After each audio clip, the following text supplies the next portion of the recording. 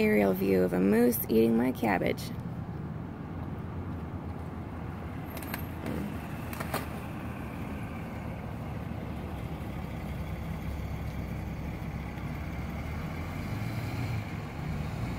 I'm up on the second floor out of a window. And it looks like one of his um, one of his horns broke off.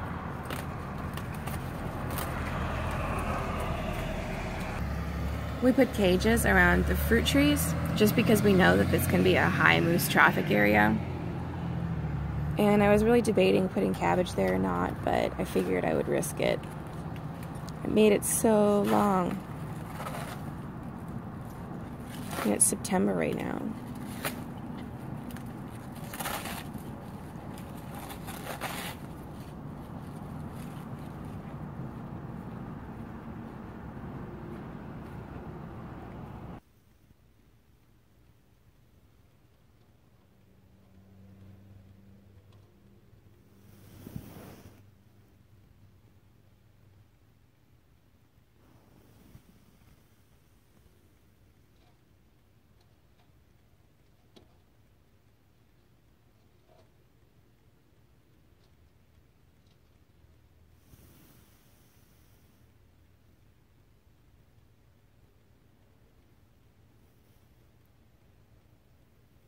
Oh, what the heck. I'm getting ransacked in the backyard, too.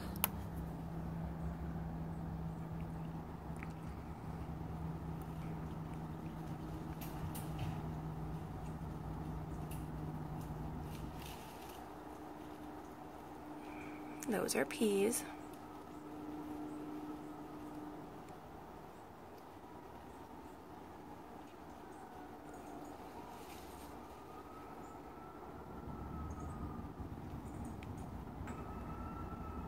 Oh my gosh.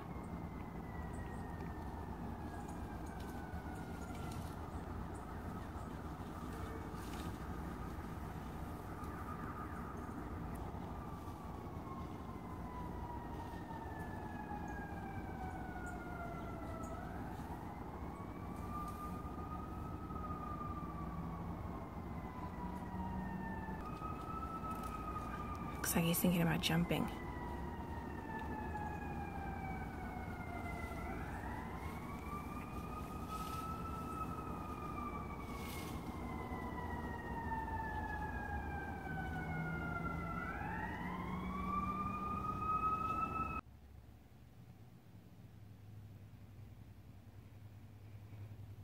Hmm.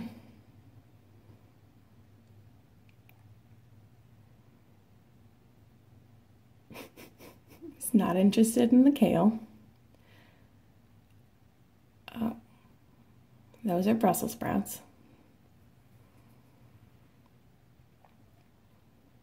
So she's eating peas and he's eating Brussels sprouts.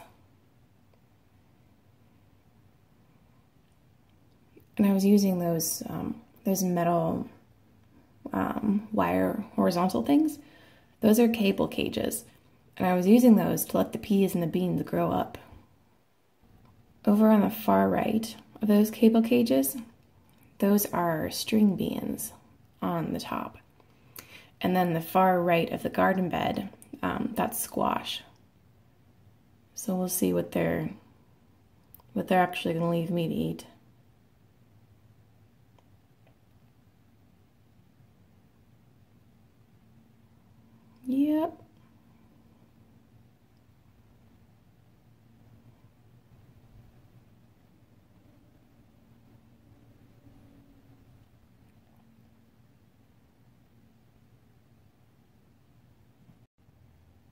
All right, she's bored.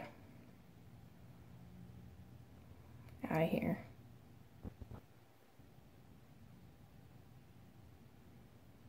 Yeah, I see you. I bet the chickens are going nuts right now.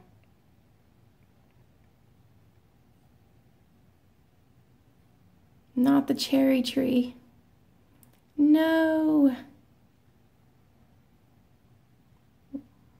That's an Evans Bali cherry that is two years old. And as you can see by the height compared to the moose, it actually had some nice growth on it this year.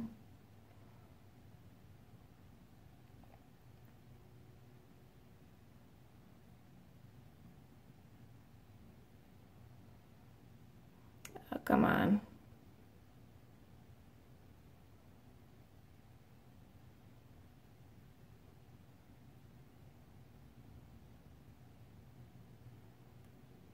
Their little snouts are really efficient at just stripping, stripping uh, branches.